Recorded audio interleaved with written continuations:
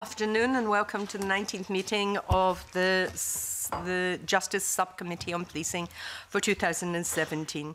Apologies have been received from Mary Fee, which is why I'm chairing today's meeting in her absence. Agenda item number one is an evidence session on Police Scotland's custody provision which the subcommittee agreed um, to have an evidence session on in order to be better informed about uh, this important use, also to enable key stakeholders to express their views about current custody provision um, on the record. I refer members to paper one, which is a note by the clerk, and paper two, which is a private paper. And I welcome to the committee today Chief Superintendent Gary McEwen Pete White, National Coordinator, Positive Prison, Pro Positive Futures.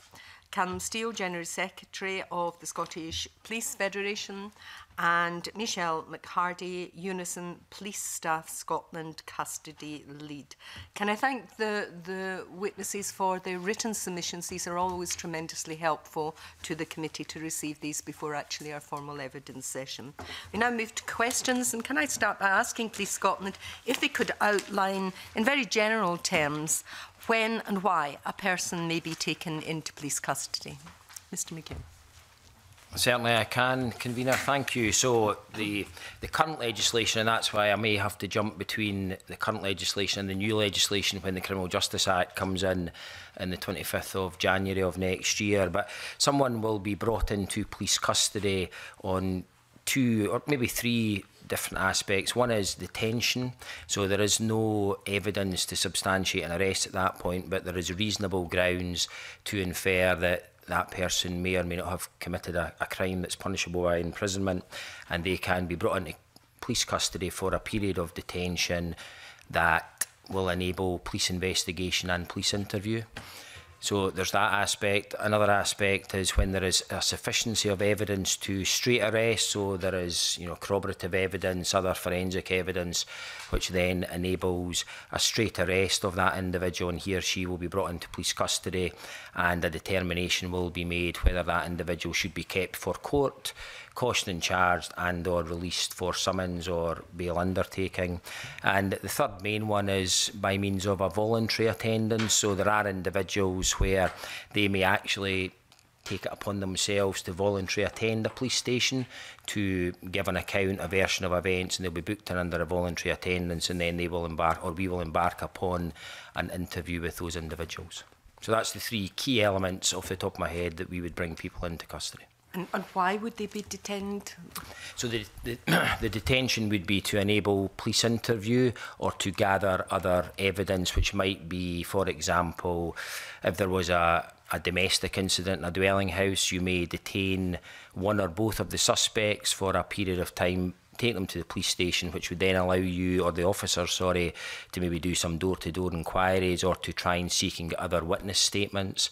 And then thereafter, the, any evidence or information that they glean through their further inquiries, they would then embark upon a, a recorded, tape recorded or notebook recorded interview with the suspect within the police station. Um, would there be a high level of maybe health issues in, included in why someone was detained, perhaps if it was certain type of behaviour? the so we average roughly or currently about 150,000 people that we bring into police stations. Three years ago it was 202,000, but it's now roughly about 150,000. I would say, and the, these are people that declare mental health and or acute alcohol or addiction services. 68% of those 150,000 have declared or intimated that they have mental health, vulnerability, suicidal tendencies, addiction uh, requirements. Yeah, that, that's helpful because we understand that police are very often the first responders to, to people with these types of um, health problems and other behaviour. Um, uh, perhaps um, anyone else to add anything to the, the custody? No, that's fully explained. Perhaps I could ask Police Scotland if there's a difference between week weekend opening facilities as described in the standard operating procedure and contingency centres as described in its written, written evidence? There is. So there's, there's three or four key types of centres. One is a primary centre, as we would describe it, and a primary centre is a, a custody centre that's open 24-7, seven days a week. An example would be Inverness is a is our primary centre, Kitty Brewster is our primary centre, Kirkcaldy, Dunfermline. So we have 35 of those across the country. We have 45 and sorry 46 ancillary centres and ancillary centres are they tend to be in the more remote areas across the country where a person is detained, arrested, or attends on a voluntary, and they are open for a period of time to enable the investigations that I've described to you.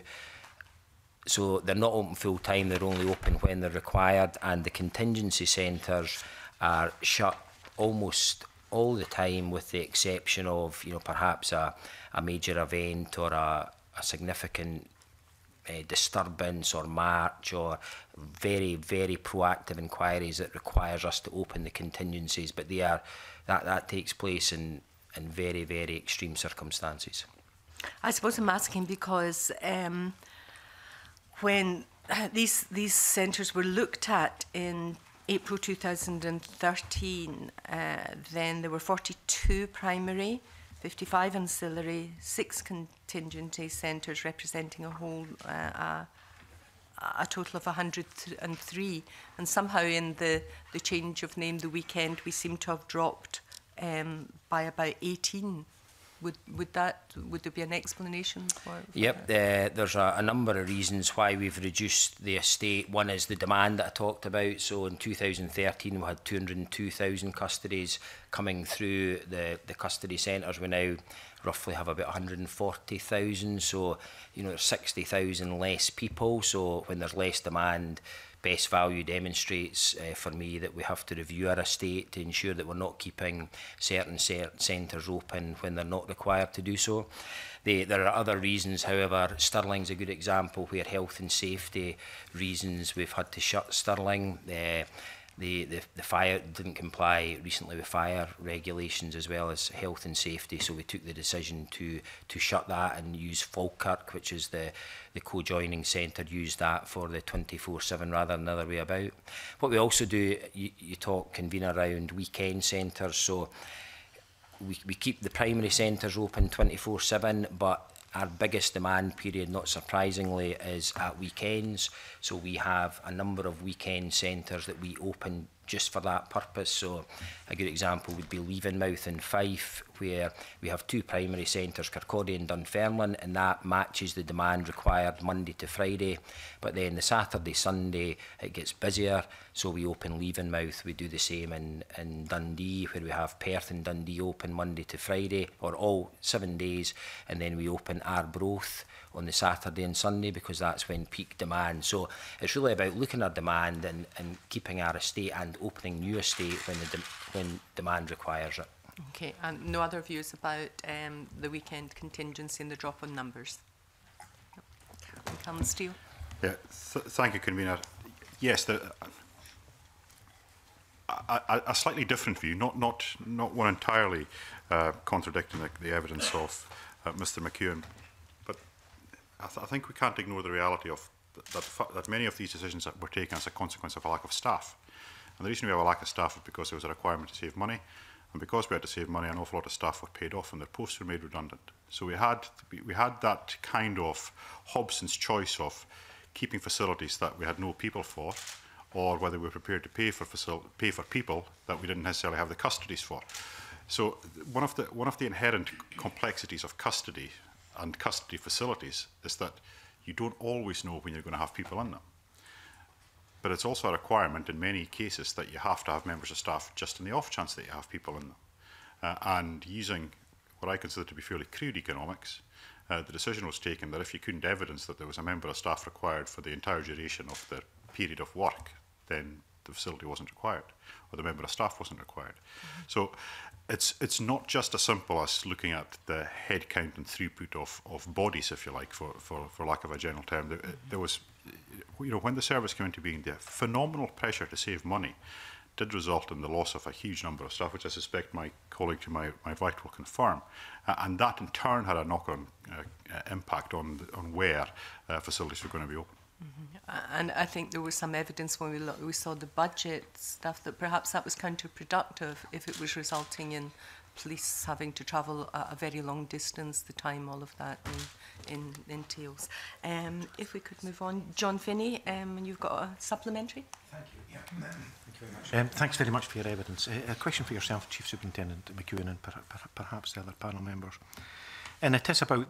the, the challenge there is for the police. I mean, you know, finance is an important factor, and I think it would be wrong to, to, to say that it doesn't impact across the public sector. But policing's different. In fact, we always hear policing's different, and it's not as simple as supply and demand. Um, and just to be parochial, if I may, convener, you know, if I, if I look at cluster three, so the Highlands and Islands, with one primary.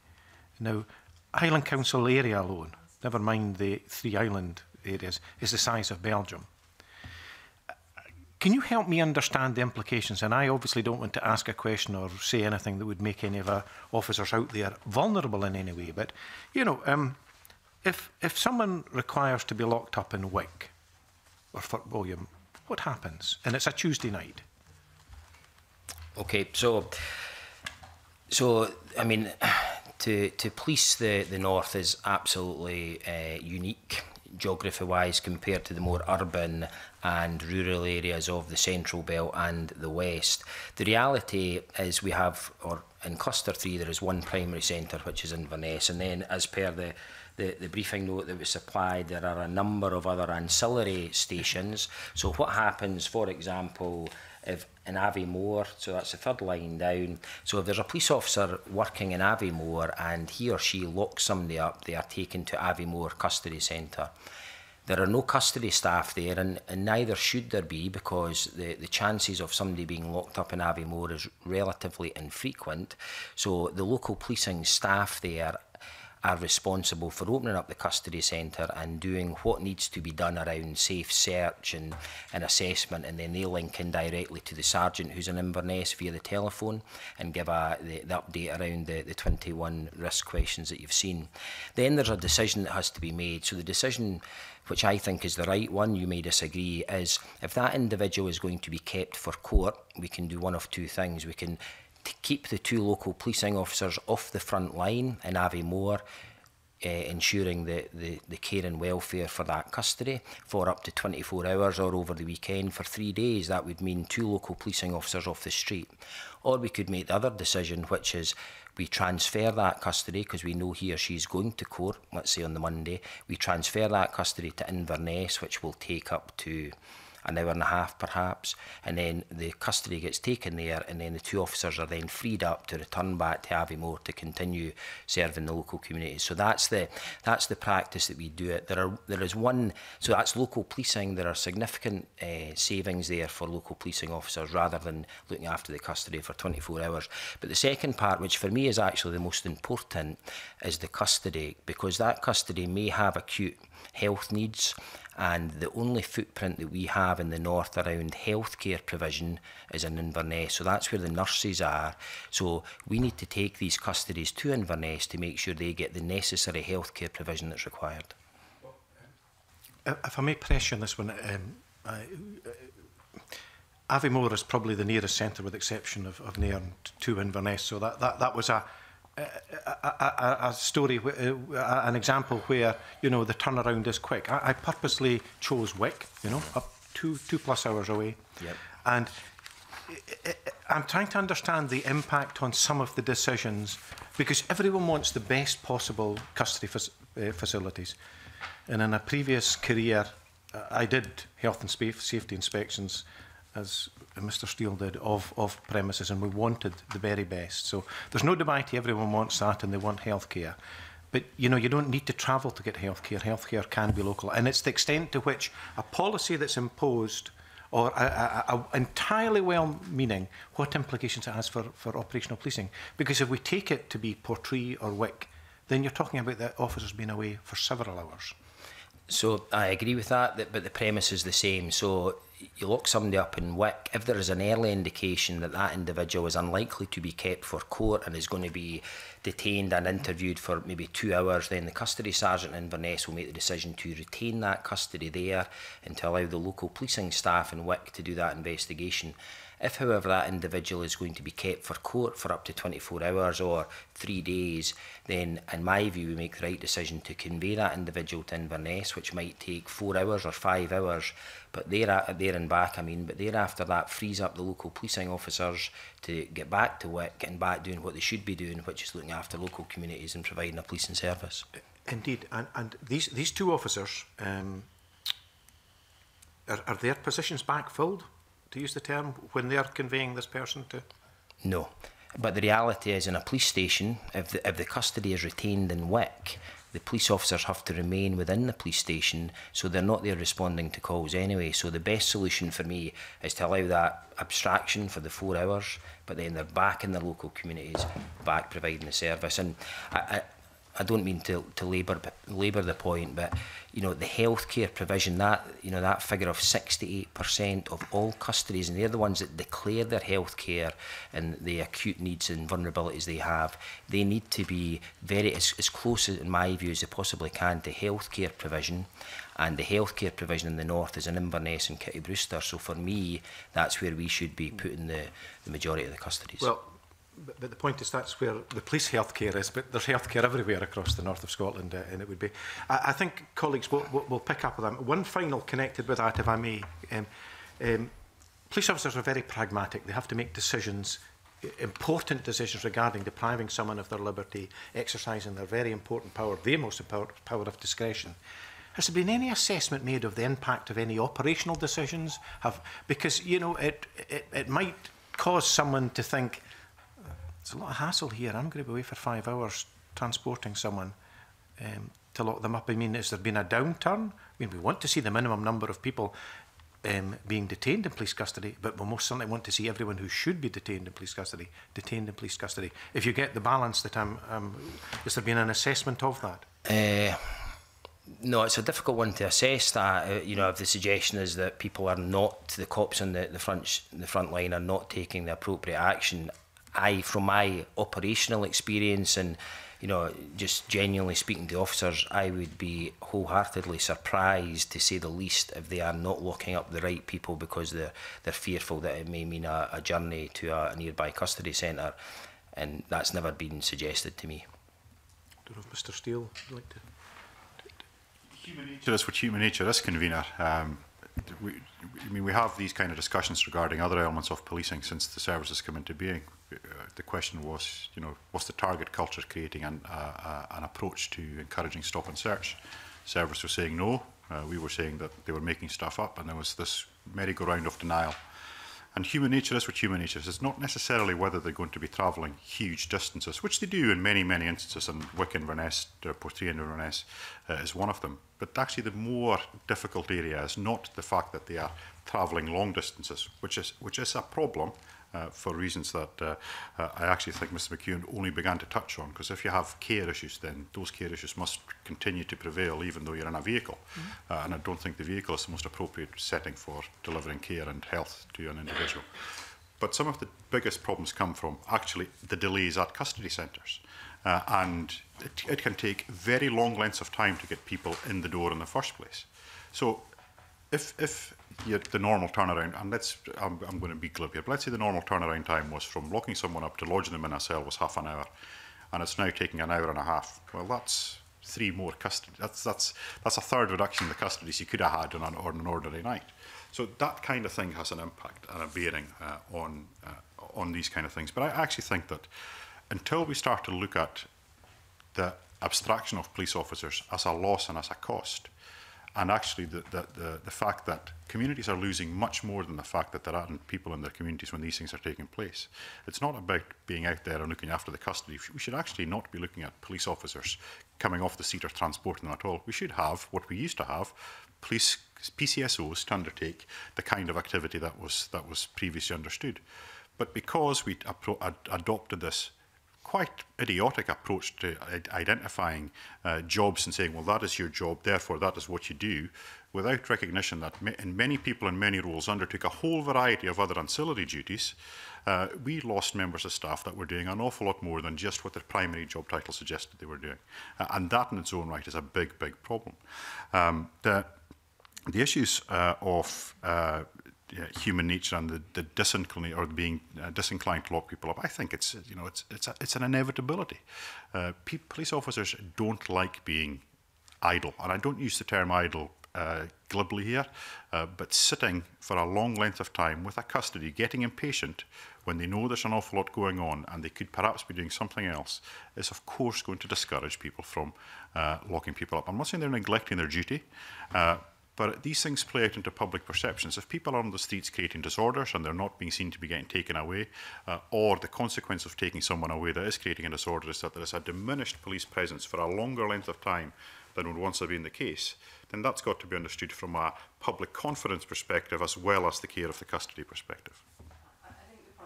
Before we move on, both uh, Rona Mackay and I attended the old firm game And certainly there was certain behaviour there where the police officer would have to take the decision. Was this someone that you know, really had to be locked up there and then because they were going to go on and cause major problems? Or would a warning suffice? They would settle down and that would not take the police officer away from where they were needed um, to police the rest of the, the game. So we do understand that these, um, these decisions have to be taken. And if there's prospect of a very long journey and hours off, then that's another factor. Rona. Thank you, Convener. Um, yes, I'd like to ask the panel, and if I may, I could, could I start with Eunice and with Michelle, please?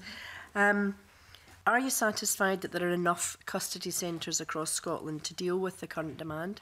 And is there a case to be made for an overall reassessment of provision? Um, it's an interesting question. Um, is there enough for demand? at the weekends when we open the centres, yes. I think during the week we sometimes struggle. We are moving a lot of our PCSOs around, um, particularly in the West area, um, so they don't have a base station anymore. Um, but that's primarily down, and the crux of this matter is down to staffing levels. We do not have the number of PCSOs that we require to run the centres that we've got. Um, the budget has been cut to such an extent that when PCSOs have left the organisation through whatever reasons they've chosen to leave, um, they've never been replaced. Um, can I, sorry, can I just stop you? Just um, for clarity, so does a police officer apply to become a PCSO? How, does that work? No, they're usually appointed to work in custody division to backfill um, okay. um, for a gap. Right, right, okay, thank you, that's fine. Okay. Uh, so, you know, we're having police officers being taken off the front line, um, doing a PCSO function alongside us has been until recently on an ad hoc basis. We've had um, agreement that there'll be police officers seconded to custody division whilst they look at the structure, but we are mm. needing to get the balance right so we can run with the centres without moving staff about. Okay, thank you. Callum, would you like to? You've kind of covered it a wee bit in what you said already. Yes, indeed. I mean, mm. the, the, issue of reduction of PCSOs is one which is particularly difficult. It, it's, I, I, I think it's uh, it's been encouraged, maybe it's, it's tolerated probably is, is the, the, the correct word rather than encouraged, where the abstraction of police officers is not seen as a cost. Uh, where, however, because support staff and PCSOs were I, an identifiable line in a budget uh, and their salaries, the loss of PCSOs through either VR or ER, uh, voluntary or early retirement, was was considered a financial saving without hmm. recognising that there was a, a, a financial cost in terms of time uh, in backfilling the roles, the, the, the, the vacancies that were created by, by the absence of CC, PCSOs. And as I uh, uh, identified in my submission uh, to this committee on the financial Uh, planning uh, just a, a, few weeks ago, there have been a large number of reductions in the number of PCSOs. Uh, and even though there are, and I genuinely uh, welcome the developments of this, even though there are proposals uh, to recruit up to about 50 of them just in, in the very near future, that still leaves a huge uh, uh, deficiency in terms of capacity for the people that need to work in these areas. And it's only when uh, the service looks at the cost and I, I, I, talk about this subject regularly, understands the true cost of policing from a holistic perspective rather than from a line, single line budget perspective. Uh, will, they be, will we be better placed to, uh, to, to deal with, the, to deal with the, the issues that present us? But in terms of the specific question as to whether we have enough custody centres, I think the short answer to that is no. Um, we are a contingency service. Uh, and there is, it's been said by so many people that there, is, there are no set of circumstances that you, ca you can't seek to define the kind of circumstances that police officers will deal with. And there's, there, are, there is always a benefit. And the consequence of having the benefit is that there's a cost. But there's always a benefit in having a custody facility in as many locations as is possible for the occasions when police officers need to take someone into custody. Self-evidently, coming from my part of the world, there used to be police stations in Loch Boystel, Loch Mari, Barra, Uh, you're not going to keep people overnight in these facilities unless you absolutely have to. Uh, but it was still better to have facilities at your local station where you're able to go and do the thing you had to do and then get out as quickly as you possibly could. Uh, in denuding the custody estate, then much more time is taken in dealing with things that used to be done quicker. And that is inefficient. And that is not effective. And that does not save money.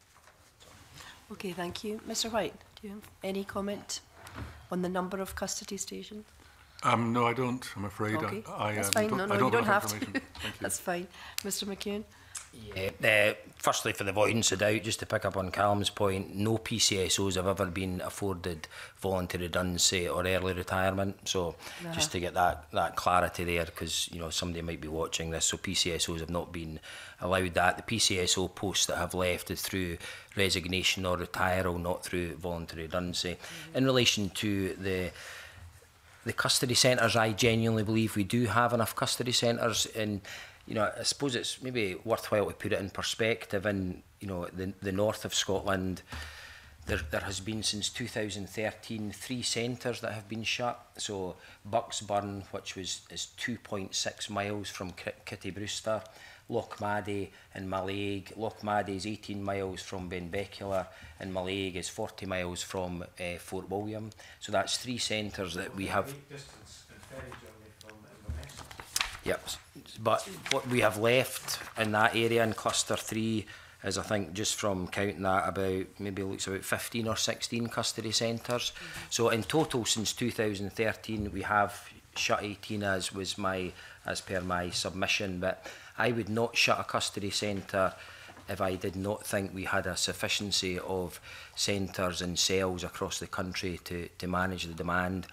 The the Criminal Justice Act when that comes in in, the, in January of next year and Lord Carloway's presumption of liberation, I predict, albeit you can never predict the future, we'll see a significant reduction again in the number of custodies that we hold and have, excuse me, have in our centre. So for me, it's about delivering the best value for the public purse, the the safety mechanisms in place, and the care and welfare and and vulnerability plans for these vulnerable people and holding them in the bigger centres where the healthcare provision is.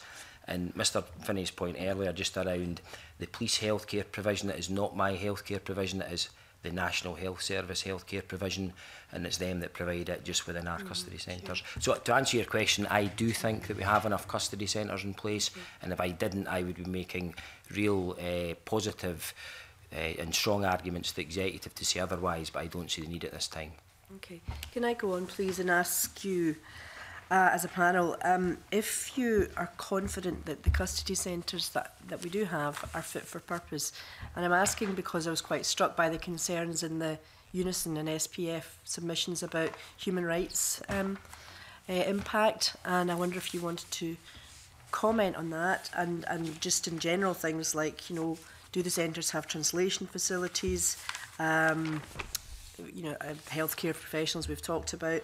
Um, and do you th are they subject to any form of inspection, or is it just there's a room, that's where you go, or, is, or do they have to have certain you know, criteria? Yeah, there's a number of different criteria. So uh, the size of the cell has to fall in line with Home Office guidance. So if we build any more custody centres now, there has to be a minimum requirement around the size of the cell, etc., which was never in, in place before. We have the independent custody visiting service, which is uh, in through the SPA, and they visit centres across the country day and night and they are very, very active. And I, I, I did read somewhere recently that they visit on average nine people, nine custodies per day every year. So, you know, it's many hundreds of people that they're visiting. We have the HMICS, they did a, a full thematic inspection of custody provision in 2014.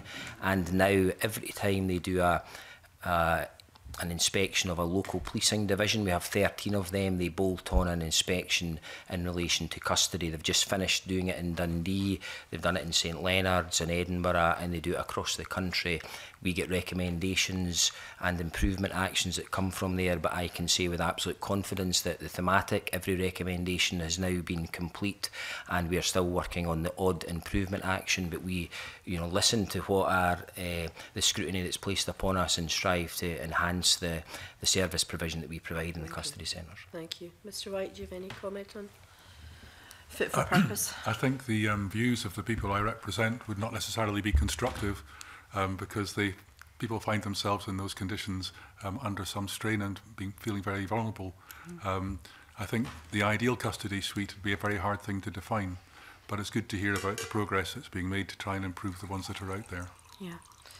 Um, can I ask why SPF and, and Unison had human rights concerns? What, what was the basis of of that? Well, if, if I may go first, convener, sure. that the concerns are not around the facilities themselves. I've, I've made clear that where we, where we have primary facilities, the care that we provide for custodies now is incomparable to the care that was provided in the past. And the staff that work in these centres uh, are doing uh, a tremendous job uh, and indeed to provide an additional level of assurance uh, uh, when it comes to the inspection regime is that the SPF, amongst others, have appointed safety representatives, and in conjunction with the service and also with uh, unions, we undertake safety inspections of facilities where our members may be expected to work, and that extends to uh, police cells also.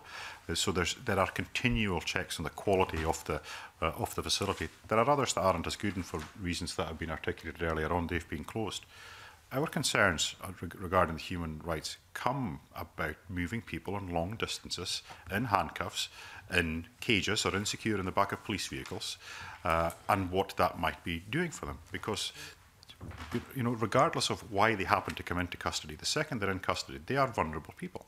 Uh, you know, they might want to, some of them might want to fight, some might have mental health issues, some might have psychological issues, uh, whatever that may be and the, no, the notion and practice of moving people, and we do it almost every single weekend from one holding centre to another, is in its own, in my, in my, my unprofessional view, but as an, as an observer, it seems to me a fairly inhumane way to be treating human beings is to clap them in irons, drag them across the country, only for them then to be driven back uh, a day or two later by G4S in the back of another van. That to me just it doesn't sit right. Uh, now,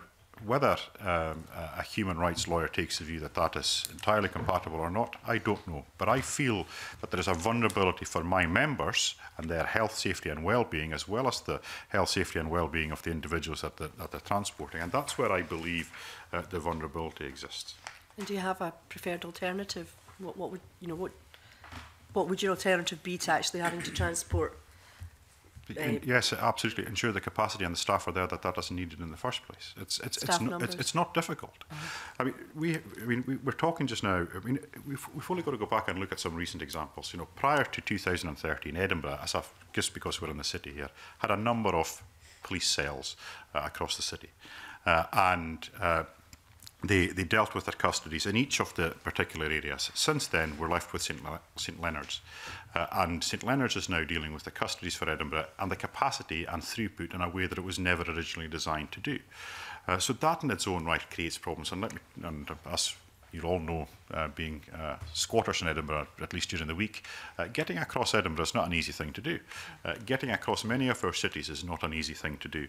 Uh, so th these kind of things cause problems. We, we, there, are, there is talk about closing uh, Arbroath. Uh, Arbroath processes 2,500 thousand prisoners a year. Uh, Uh, now, then you're looking at distances of 80 miles to Kitty Brewster, or you're looking at comparable distances to Dundee. These are long journeys. Um, so these kind of things in their own right seem to me that we're looking at it from the cash side rather than from the human rights side. And if we the police service have an absolute duty, which I think is right, to look after the human rights of individuals, then you, as parliamentarians, have to make sure that we're not hamstrung in being able to deliver that. And if that means that additional funding has to be provided for our estate through capital funding or through our staff through revenue funding, then that's an obligation that you have to discharge. Um, because, to my mind, the practice of moving people from east to west, from uh, say St Leonard's to Clydebank or to Cathcart or to wherever it's going to be, only then to move them back again doesn't, to me, sit with the way we should be treating human beings. Okay, thank you. Would you like to comment, Michelle? Yeah, um, our comments wasn't that, you know, we are dealing with people that have very complex health needs, um, has been alluded to. Um, they are on occasions being transported around the country, but they're being transported to centres which are running short staffed.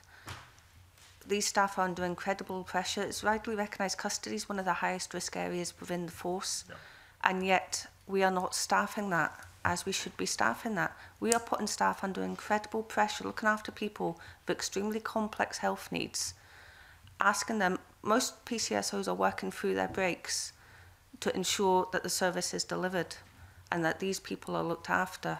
And that is our concern. We're not, something has the potential to go wrong because the staff are under so much pressure looking after increased numbers of prisoners coming through the door. Although the numbers in general are de decreasing, they're not getting that respite because they're getting more prisoners coming through their centre than they used to do because we've got less centres, and that is our concern. Okay, thank you. Thank you. Stuart Stevenson. Uh, thank you very much, Kamina. I want to just ask uh, a, uh, a wee bit about uh, the process of reception into custody. Now, the uh, Police Scotland evidence has given us um, a, a list of 21 questions uh, that form part of the risk assessment by the custody supervisor. Now, the, the, the first thing I come upon in reading the questions is the 20 out of the 21 questions, the second word is you. In other words, they're all questions that are directed by the person in charge of the custody uh, to the person who's been brought into custody. Um, to, to what extent are the people in charge of the custody making an independent assessment of the needs of the person brought into custody, or are they simply relying on what that person chooses to say? Now, I recognise the evidence says if they basically don't answer, you flag everything as high priority. But I think there's probably some middle ground between that response, where people are responding, but you don't necessarily, and objectively probably shouldn't, believe the response you've been given.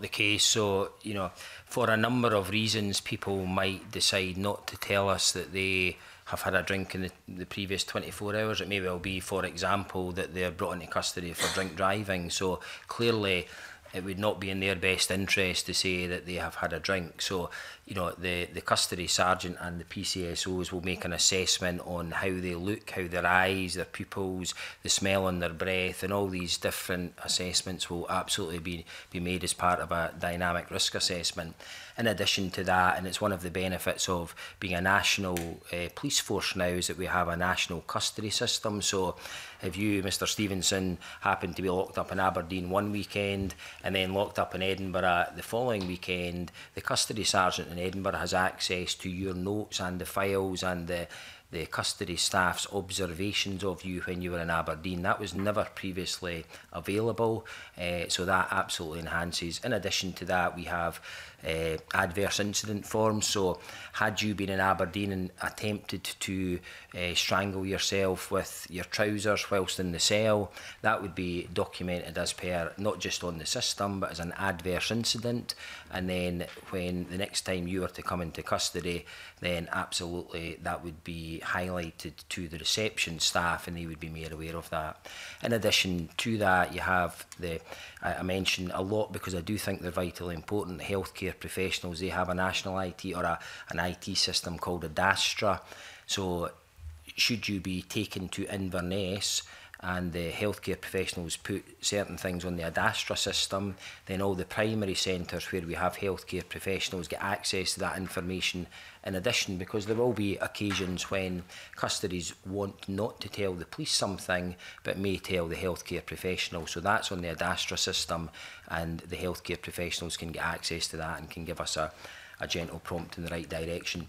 The the question set, you know, was subject to significant consultation externally and in, internally with the prison service, with healthcare professionals, with lay advisors, with uh, independent custody visitors, and that was seen as being the, the best question set and the, the most professional and robust question set to try and elude the most honest answers from the custodies. But absolutely, we take on board that not everybody tells us the truth, and we need to use other things that I've described to try and enhance uh, eh, our knowledge and the care plan that we provide for these people. Uh, just for the record, Superintendent, thus far I have uh, denied myself the privilege uh, of your, your hospitality on the basis described, although I have visited the custody suite in my constituency at Fraserburgh on a number of occasions, but purely as an observer. I'm um, sure of that. No, uh, let, me, let me, however, just, and it moves on to the second part of what I want to ask, however, address what to me seems to be one omission from the list uh, of questions questions, uh, which I would suggest might be, uh, have you responsibilities to other people? In other words, is this a, a, a person who's been arrested, brought into custody, who has young children at home who who, for whom that person might be responsible? Uh, have they an infirm parent, parent uh, or, or whatever that they may be looking after who's dependent on them. And I don't see that particularly covered uh, there. And let me just ask the other part of my question so that we can perhaps deal with it in a one uh, which is the more general point is just how do you deal with making sure uh, that other members of the family or partners or relevant people in that person's life are made aware of the detention uh, and indeed kept up to date on the process for what may happen after detention, such as, for example, being held for three days uh, for court on Monday. It, so, take the first question first. I think there's absolute validity in what you say. Question 21 that sort of catch-all, if you like, would would hopefully elude if there was a you know a parent that was brought in and kids were needing picked up from school or that. I would hope that that would be that would be covered there, or indeed I would hope that, that any parent guardian would actually would tell the police officers right away. But, ah, well, but, wait, wait, do do do forgive me if I just press it a little bit. Um, that that that of course the person consent for example, if they have two young children at home then strictly speaking, they may not want to tell you about it because of a potential offence associated with their leaving these children at home. And, and I'm not entirely certain that question 21, while I accept it's a kind of catch-all, it seems more to be a question for the custody officers to themselves, perhaps rather than...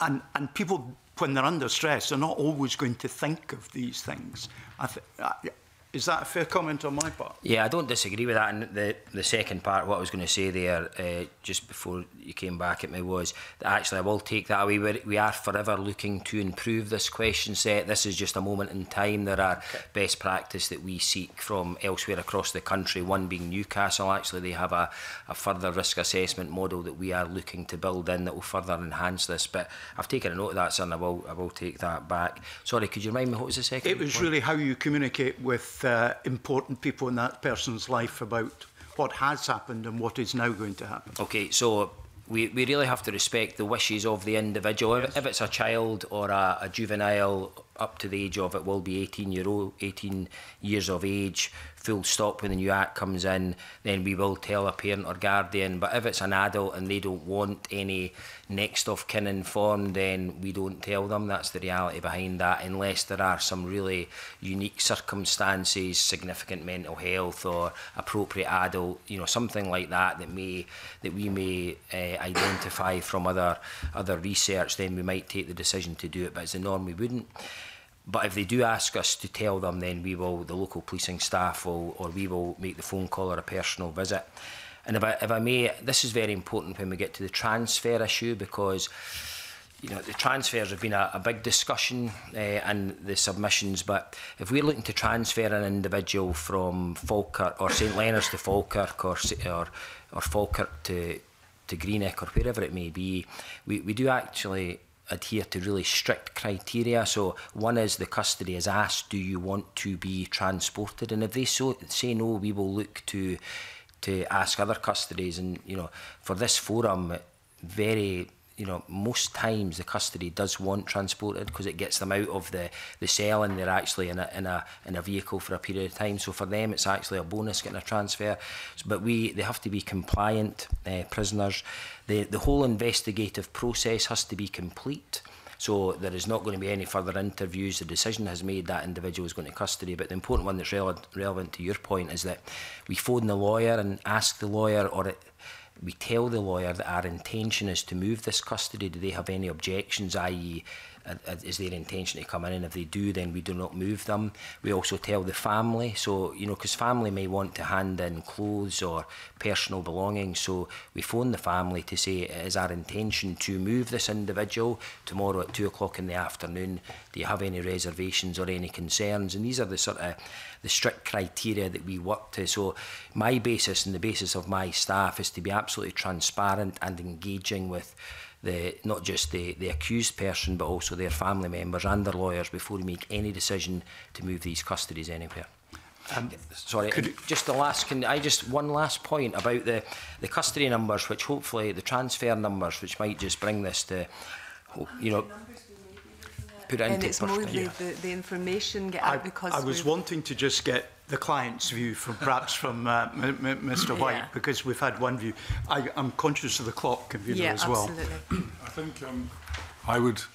um, draw our attention to the Community Justice Scotland process, which requires consultation um, between statutory partners um in every area, including the police, um and also the fact that uh, people with convictions in each area are to be consulted about the um design and efficiency of the services in each area.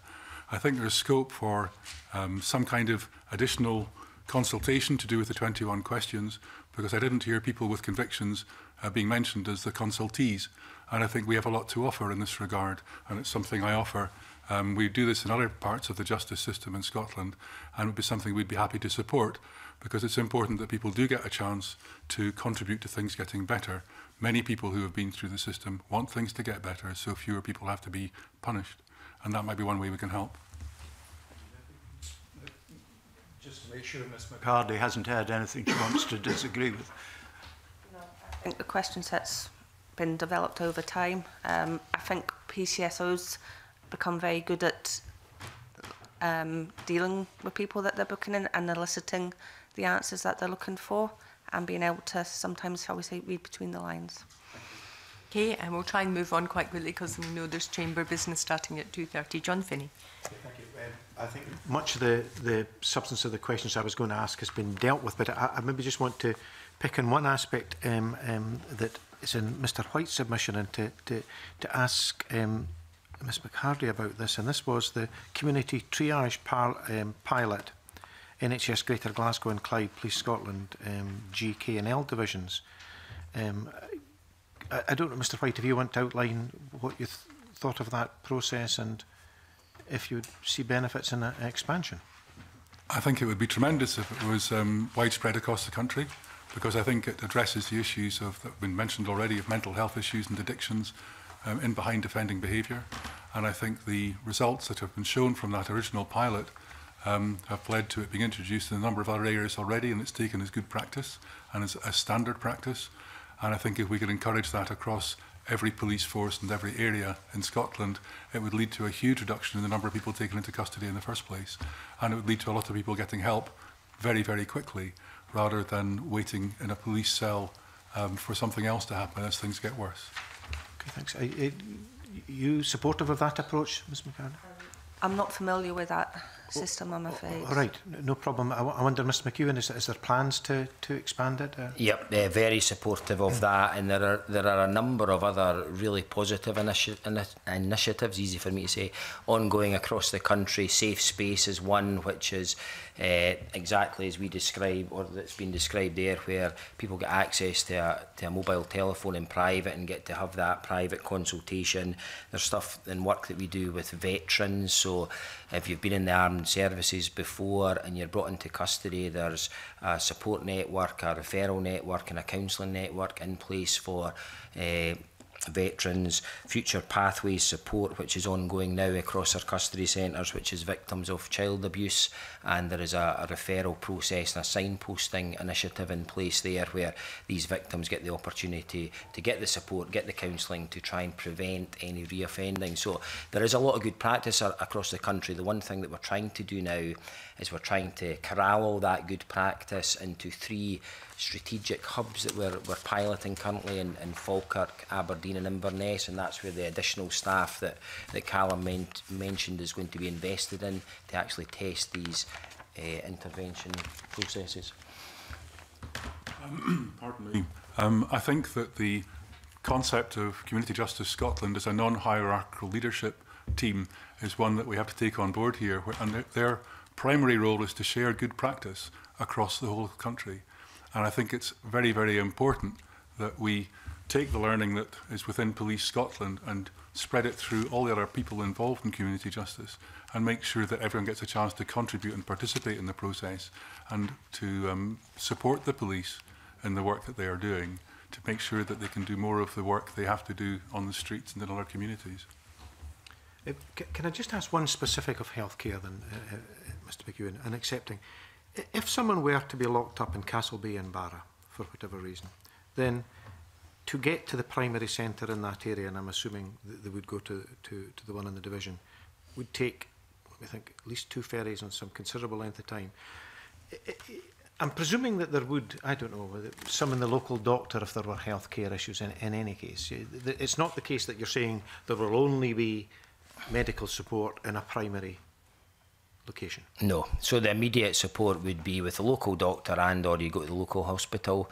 The issue with that or the, the long term issue with that as we find in places like Fraserburn Elgin is that sometimes the locum doctors are not available and or the sort of you take them to the local hospital the police officers and the custody can be there for a number of hours until they're seen so the priority healthcare and the fastest and most efficient is within the primary centres Yeah, I, I keep giving these more remote locations, and you keep answering with more uh, what what I would consider, you know, urban areas. Uh, uh, um, part there, I, I mean, what happens? Someone's needing to get the jail in Barra. Yep. They're locked up, and the storm's coming. What happens? Yep. So then the local doctor, the local doctor is, is summoned, and he or she will arrive as soon as they possibly can. They may well, if it's something really serious, we would look to get an air ambulance out uh, and transport that individual to the nearest hospital if it's not on the island. See, one, one view of all of this is that basically we've moved to single service. A new plan's been conceived for, uh, for how custodies are treated, and it's disregarded what was good and accepted practice prior to that. Yeah, and I, I realise that's your point. I suppose the point I would come back to is that since the new service we created, there is only three centres in the north that has been shut. So the, the previous operating procedures in Wick and elsewhere are still in place.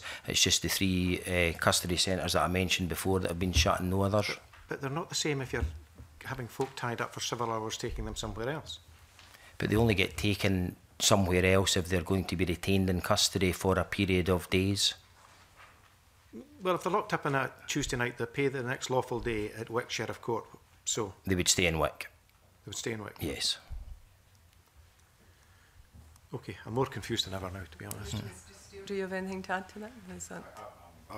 in case you think, convener, that I'm giving you the eye, I apologise. I'm, I'm, being, I'm being, I'm being blinded. No, uh, I mean, uh, to some extent, I, I absolutely agree with the point that Mr. Finney is making. We you know, health provision used to be provided, but in a number of uh, different ways.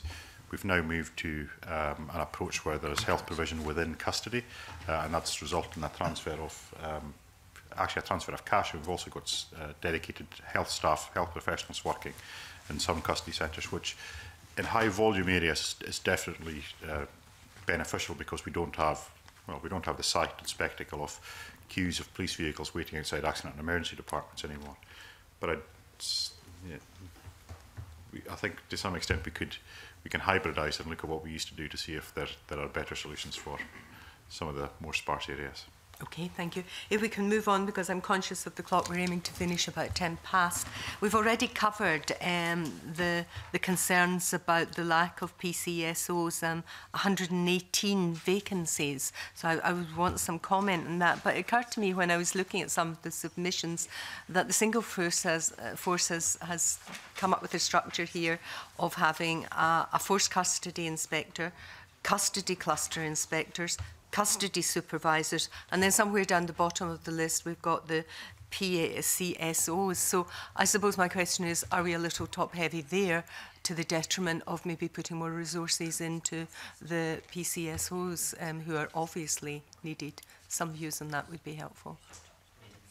The structure that we have, it may sound a lot, but it's not, as we have five custody force custody inspectors and they work 24-7, so that is one inspector that's on for the entire of the country and that inspector is responsible for not the not the hour by hour oversight and care and welfare of the custodies but actually the, the key decisions that are requiring to be made.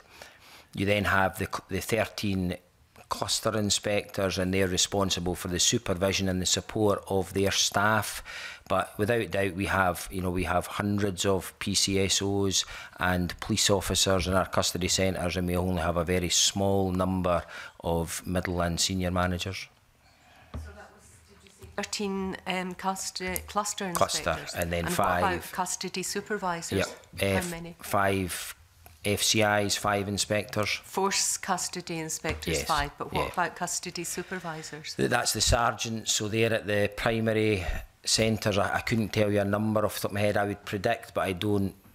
Uh, sergeant rank, maybe 90, but I'm not sure. I'd have to get back to you. Quite good to get these figures. Yeah, I could certainly and do that. And the, the vacancies, 118 vacancies, because clearly we've heard evidence that's causing problems. So the, the vacancies we are striving to fill a number of the vacancies currently, as, as Callum spoke about. You mentioned 50, but there's 45 new posts that were approved just last week, so that's 45 new posts that we're bringing in. We have 27, I checked this morning, 27 PCSO vacancies uh, in my division, and all of them are in, in transit through advert etc to get them filled. Uh, that does take a bit of time with vetting and interviews etc. But that's 27, and then currently there's work ongoing that you that may have been discussed here before that we are looking to reform the the corporate services division, which is the the back office. Uh, college, Jackton, policy and guidance officers that do a lot of really valuable work but there was a decision by the force executive that we're going to release these officers and put them on the front line and the decision has been made that 40 of those police officers will come into my division and work on the front line within the, the custody services. So we're moving police officers from the back office, as I say, doing support roles into the front line in the custody services. So in the last three to four months, convener, I have to say there has been some really significant positive traction and momentum uh, around custody. And Can I ask how many vacancies there will still be then? You've mentioned 45 have been filled. What, what is the... So, this is where it gets Are we a still bit looking at 73 so no this is where it gets a bit messy to be honest with you and it's all to do with IT but from the 1st of April 2017 the and because of the available budget that was in place for police staff and police officers at that time, it was zeroed. So any vacancies from that moment on, we capture. So 27 vacancies that I spoke about is what we have in PCSOs. We're recruiting an additional 45. We're getting 40 police officers from Corporate Services Division and also local policing staff have invested a significant amount of police officers in as well.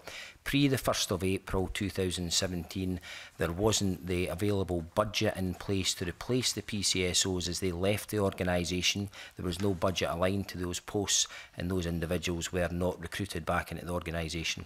And I think that's where we've got some concern because clearly they're, they're pivotal to, to making the custody centres work properly. So perhaps there's decisions and um, a review of that to be looked at. Um, Callum Steele, is there anything else you want to say here? Again, I'm mindful of the time. I think it's really important to, whilst the terminology might have been zeroed, the vacancies that existed were just simply deleted. The posts, the posts were deleted. Uh, zeroed might be a politer way of describing it, but they, they, they no longer exist uh, for vacancies. Uh, the, the issue of, I fully concede that there's been an awful lot done. No doubt about it. From where we were 18 months, two years ago, to where we are now, still uh, exponentially better, but still an awful lot more to be done uh, not least because of the, the issue we have with, with officers transfer crossing the country with, with pr prisoners. But we have, we have, we have um, based, based upon years of experience, I think is the best way of describing it, we have some doubts whether these 40 officers from corporate services will be released. And that those doubts are expressed by people, our members that work in the, the division uh, that Mr McEwen works in. And we also have, um, we, we also can't ignore the fact that taking 40 police officers from one part and putting them somewhere else is still backfilling. Uh, and whether they're supported from local policing or not, that's still backfilling. Uh, so that's police officers that are that that are not being measured as a cost because they're looked at in a different part of the budget. This is why the holistic approach and understanding as to the cost of provision of service is so important. Uh, and it's not Mr. McEwen's fault. You know, it's You know, that's the that's the that's the partial he's been given, and he's the one he's holding. And the, when the music stopped, uh, but the, there needs to be a much more comprehensive appreciation that police officers don't have zero cost. An update on just exactly where we are. 118 um, PCSOs have gone, deleted, whatever, removed from the books, and some um, more um, some some kind of form of replacement is suggested.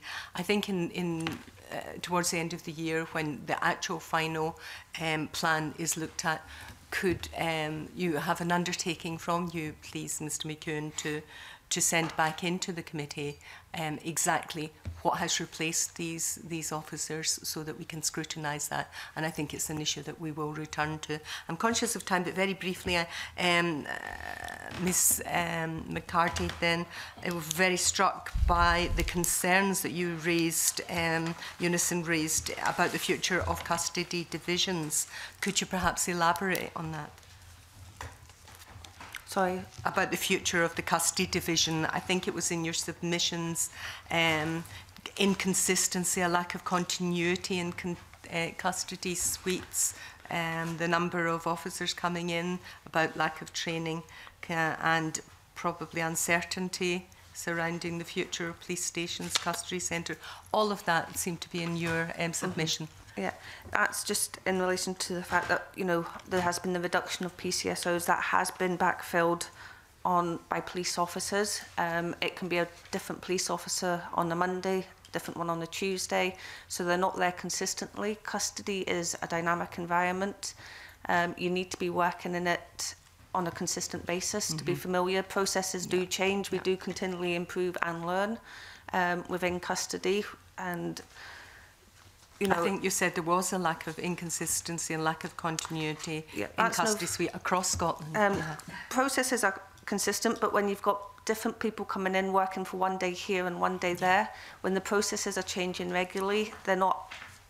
up to speed for what's changed from the last time they were there. So that puts added pressure on the PCSOs because they're needing to make them aware of the changes that have been done.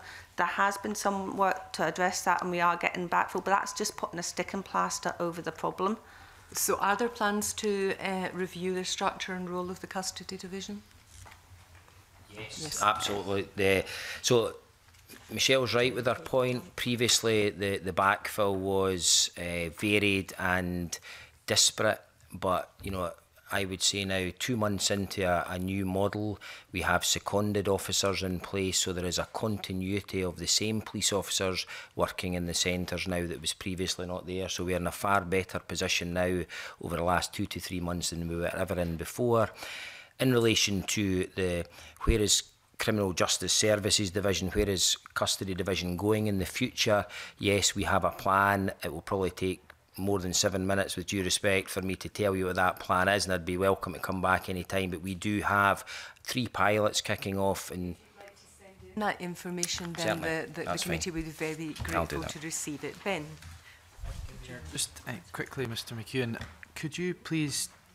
uh, clarify whether Police Scotland has received any formal complaints on uh, with regard to transfers between custody centres? Not that I'm aware of, no. And I did ask that question of my my DCU this morning, just in case that I was uh, unaware of it, but no. Good, thank you. Thanks, Camilla. you? Nothing else to ask Nothing in that box? Okay, Liam. Thank you very much and apologies for my late arrival. I was in the uh, chamber attending and participating in a debate. Uh, just before I turn to the question I was going to ask around the Criminal Justice Act, I, just intrigued following on from the questions that John Finney was asking um, with the, the, the potential transfer of, of, of um, those held in custody some distances across the, uh, across the Highlands and Islands, what the implications are in terms of the, the prisoner transfer contract. I mean, presumably a fault to G4S to, to, to bring um, those back from, from custody perhaps in, in Inverness back to to, to, to, to Wick or Portree or whatever the following day. So, I, I mean, the implications one would imagine of, of, of, of transfers of, of those those sorts of distances are going to have a, a, an impact on the on the contract. They do not in the cost of the contract right. because that was built into the contract. But you know, from the G4S submission, it does have an impact on on their resources. If I do just quickly just say the, the numbers because I think I probably should have said these at the beginning because it does put it in perspective and it'll just take literally 30 seconds. But in 2013, I, I got the four weekends of November because we don't do transfers during the week. So the four weekends in November 13 compared to the four weekends that we've just had in November. So in 2013, there were 79 in weekend number one. Now, weekend number one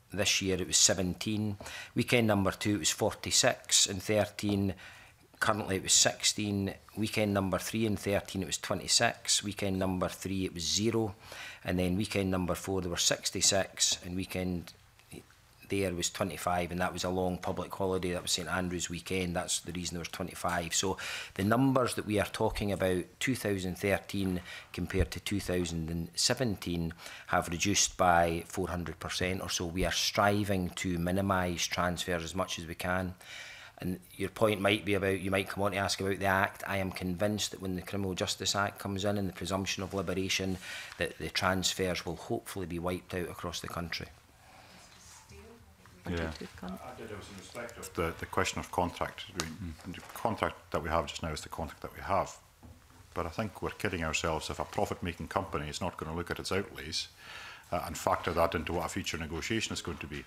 Uh, and if uh, and, and it's no if about it, they are, they are travelling much greater distances than I suspect were originally anticipated in the contract. That will be reflected at a future point in time. Uh, because let's be honest about it, the G4S business model is not one built in benevolence. Hmm. I'm, I'm involved in the, the negotiations for the new contract because it's 2019 that it's up and there are four companies involved and I, I don't want again it's public just now but we are involved in negotiation around cost and we'll see where that, that gets us. But Callum's right, part of the, the discussions will be around transfers, but hopefully the numbers I've spoken about in the new Act coming in, they are very, very small numbers compared to the 150,000 people that we bring into custody. I Just just finally, I, I, I think, Mr McEwen, you, you touched on it and probably gave an answer to it, probably worth um, inviting Callum to give his response in terms of the Criminal Justice Act um, and, and the provisions coming into force uh, as of, of next year, uh, giving police officers the, the, the power of investigative liberation. Uh, is the expectation that that, that will um, reduce? Um, and if so, is there any way of quantifying uh, that reduction, the number of, of those going into, into custody um, and as a result potentially being being transferred the sort of distances we've been discussing? I think it's the desire.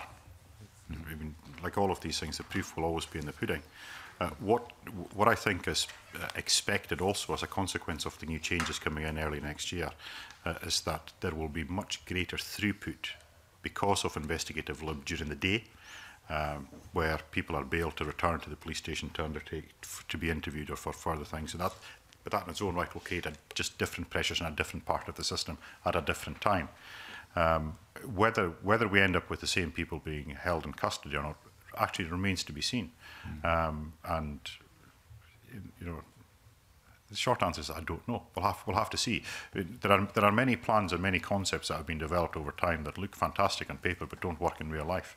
Uh, mm. And, you know, whilst everyone hopes and gets to the stage where we don't bring so many people into custody, a large part of their own behaviours affect those decisions in the I was going to say, I mean, it, was, it, it, it seemed to, to, to link back to the earlier point you were, you were making about human behaviour. I mean, yeah. presumably mix that with the, the added option that's uh, available as of, of next year. And, and while it may alter the, the, the, the throughput, there's an additional flexibility that allow officers to take, and, take indeed, decisions. Indeed, and, uh, but again, this is, this is where I think that looking at these things through a single lens is not particularly helpful. Public confidence plays a big role in this. And yes, it's going to be, you know, let's take a, a simple fighting uh, melee in the, in the middle of the street. Uh, it's going to it's going to be entirely possible and indeed desirable, and from a police demand and capacity point of view, to take people into custody, allow them to calm down, and then uh, release them for an under bail for investigative liberation.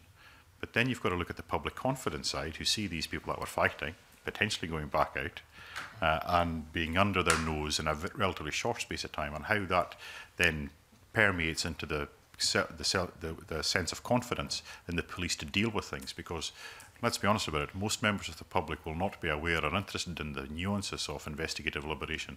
They won't care that they've been taken to a police station, that there's been a process gone through, that there's been some kind of assessment, there have been some kind of conditions. They just see that they've been taken off the street by the police one minute and they're back out the next. Right. Hmm. That's helpful. That concludes our, our questioning. Can I thank the, the witnesses very much for attending? That's been a, an extremely worthwhile evidence session. That concludes the 19th meeting of 2017. Our next meeting will be on Thursday, 18th of January 2018, when we intend to have an evidence session on HMI Inspector of Constabulary's report on undercover policing.